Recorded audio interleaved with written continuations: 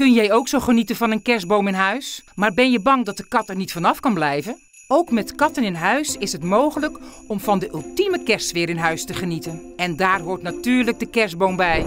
Wij geven je 7 tips voor een catproof kerstboom.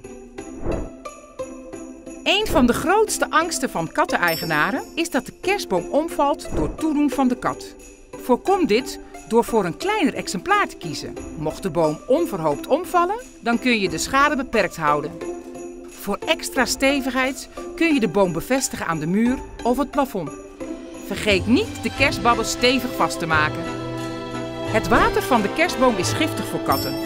Dek daarom de pot van de kerstboom goed af met een laken of een speciale kerstboomstandaard. En zorg dat de drinkwaterbakjes niet in de directe omgeving van de kerstboom staan. Plaats de kerstboom uit de buurt van kasten, banken of plankjes, zodat het niet springplank voor je kat kan dienen. Door de kerstboom wat hoger te plaatsen, op bijvoorbeeld een tafeltje, maak je het lastiger voor je kat om bij de boom te komen. Sla bij het versieren van de kerstboom de onderkant over. Daarmee bespaar je tijd en de kerstboom is gelijk minder aantrekkelijk voor je speelgrage kat.